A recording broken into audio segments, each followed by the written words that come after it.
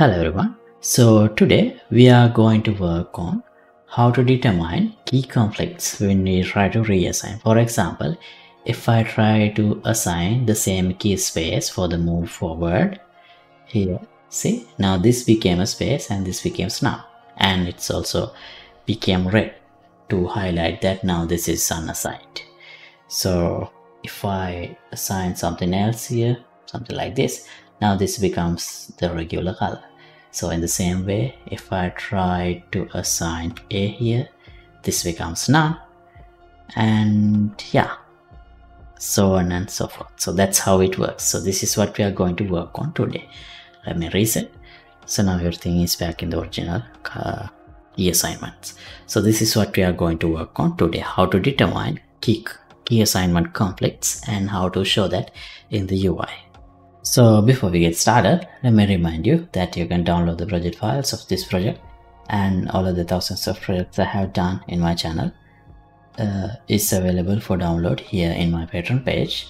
And also this is the full playlist of this series. Everything is explained and implemented from scratch. I'll leave the links to everything in description below. And now let's get back to today's episode.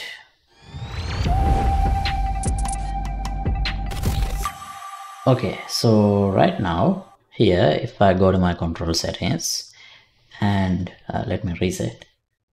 And here this is W and jump is a space. If I assign a space to move forward instead of W. Now both of these inputs have the same input. Key bind, bound to the action but it's not complaining so what I want to do is this should be unassigned if I assign the same key to another input so we need to check for conflicts. Right. So to do that let me open my controls options. And here. Uh, this is where I update key mapping. Now after updating the key mapping here I need to have another function to check for conflicts and that function also should know should get these two parameters mapping name and the new key. So I'll do a reroute node like this and collapse this to a function so I can easily create a function with all the inputs I need. So I'll call it check key conflicts and this input. Um, let's call it map name and the input to key or rather new key okay see now easily we have the function. So now to check the mappings we can actually use this enhanced input sysplayer subsystem and from that get enhanced input user settings and get active key profile and get player mapping rows. Okay. Now yeah let's do that. And let's run a for each loop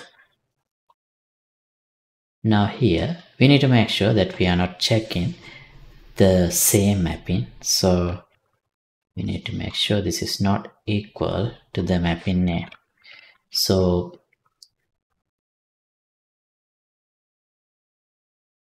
so we will not be by mistake mark the current mapping the existing mapping that we already have as unassigned the existing mapping that I'm already trying to change as unassigned.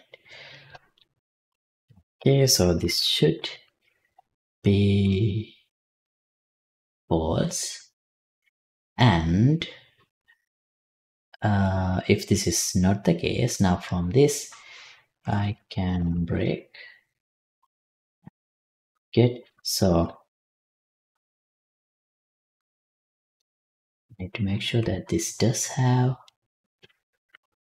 assignments mappings otherwise we would get an error.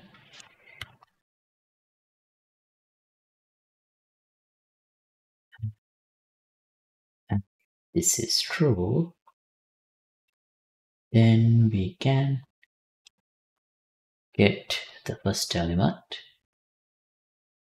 And write this. Now we can check if the current key is equal to this new key.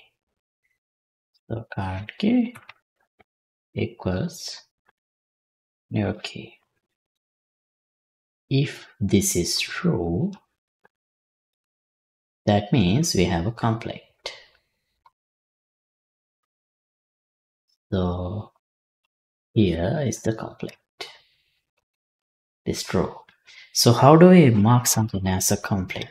For that, we need to get a reference to the option key. Option key means this widget that shows the name of the input and the key. That option key widget and mark it as unassigned. But right now, I don't keep a reference. So maybe it's time that when I initialize these uh, widgets, maybe let's store a reference. So like this. I'll add a variable. I'll call it option keys and change the type to name and then change this into a map so the other variable I'll choose uh, option key WBP option key. Compile. Now option keys add.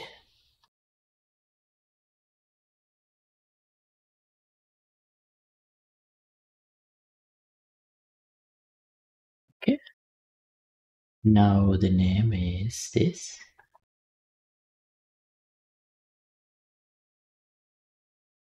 the widget is this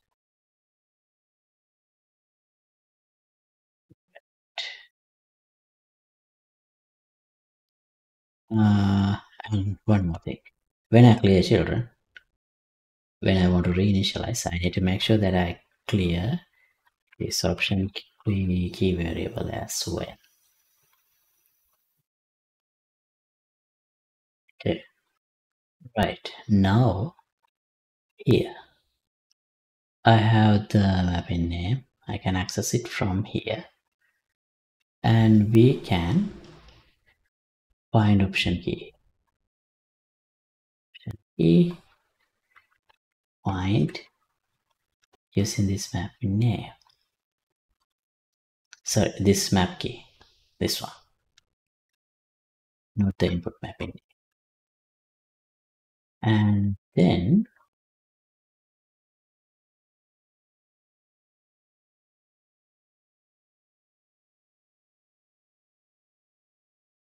So this one we need to mark as unassigned. But I don't have a function to a way to make it unassigned right now. So let's go to option key and let's add a new function. Uh, what should we call it? Set unassigned. Okay, so I'll get the WBP key button not get key to none.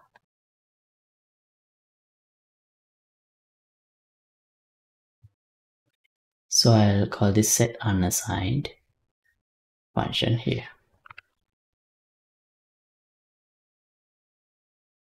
And we need to make sure we have to have an element with the same name.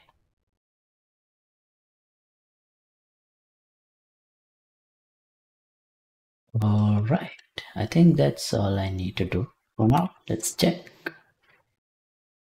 Controls. Now this is both space. So let me reset. And if I try to assign space now, see, this became now. So that's exactly what I wanted. Also, maybe we should have some change into background as well.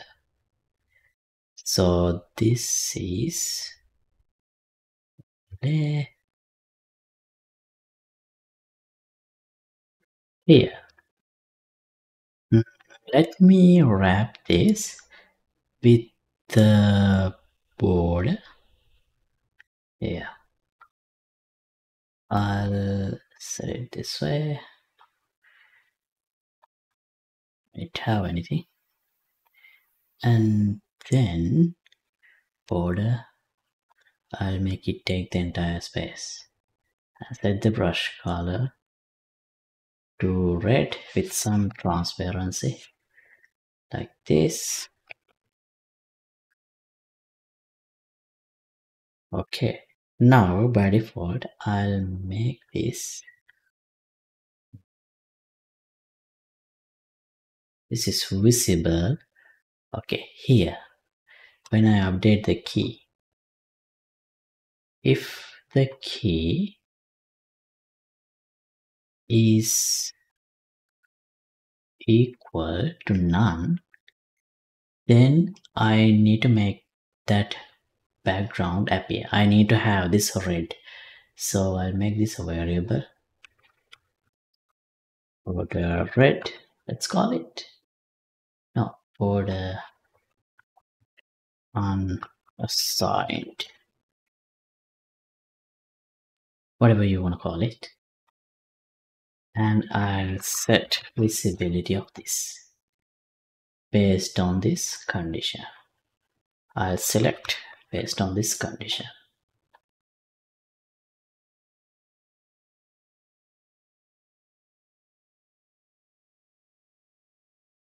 and if it is true visible otherwise hidden uh, wait this might be a problem. This might hide the child children's as well. Let's see. Nothing is visible. No this is not going to work. This is going to affect child elements as well. So let me delete that and revert this. With child. Okay. So let's do this. Let's change the color color of this text. And I'll have two variables for that so basically what I want to do is this. Set city key name set color and opacity. And I need to select this based on this value. If it is true I need to have one color. If it is false I need to keep the original color. So let's promote this to a variable. Let's call it valid key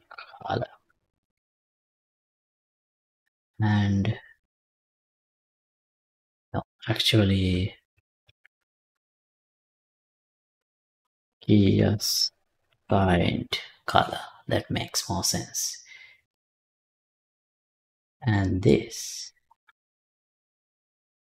the unassigned color. Okay now unassigned color I'll make it red. Like this and the assigned color.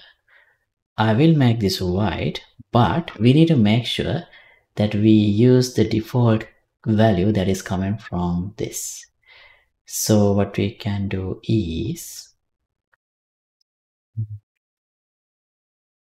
here in the pre-construct I can access the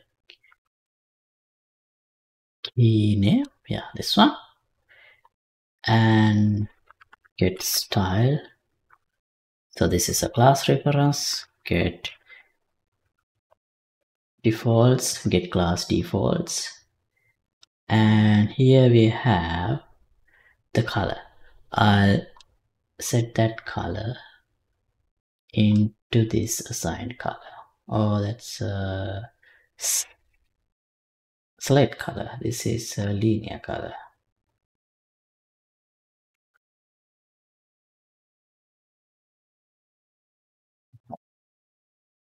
So if I split this now I can say it. Okay so here we will have the original whatever the original color we already have in the in the variable. And that's all. Yeah that's all. Now let's check. Settings controls. So reset. Try to assign the same. One see now this became red and also none. So if I try some other key now it's on the back in the original color. It's not red anymore so exactly in the way I need. If I stop and go back. Yeah things are in the same way that I wanted it to be. Alright so that's all I want to do in this episode. And thanks for watching. As always updated project files will be available for download here in the Patreon page. Link would be in the description below. And let me know if you have any questions in the comments. Don't forget to like and subscribe. And see you in another episode. Goodbye